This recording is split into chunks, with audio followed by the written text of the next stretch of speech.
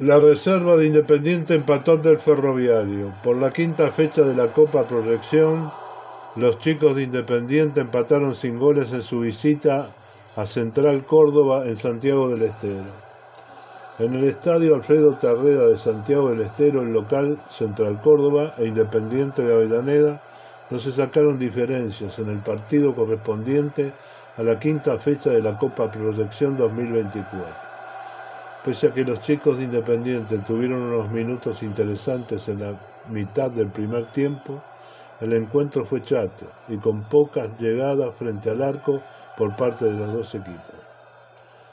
El conjunto dirigido por Pedro Monzón formó con Manuel Tazo, Maximiliano Duarte, Luciano Echeverría, Gonzalo Bordón, Jonathan de la Estorza, Enzo Taborda. 34 minutos del segundo tiempo, Tiago Alves, Facundo Cruz, Lautaro Millán. 46 minutos del segundo tiempo, Marcos Gómez, Tiago Mastro Lorenzo. Segundo tiempo, Joel Medina, Nicolás Castaño, 34 minutos del segundo tiempo Francisco Ballesteros y Alan Laprida. 24 minutos del segundo tiempo Lucas Diego González. Fueron suplentes Fabricio Acosta, Elías Quiroga, Francisco Radetich, Ramiro Martino, Ignacio Medina y Julián Folini.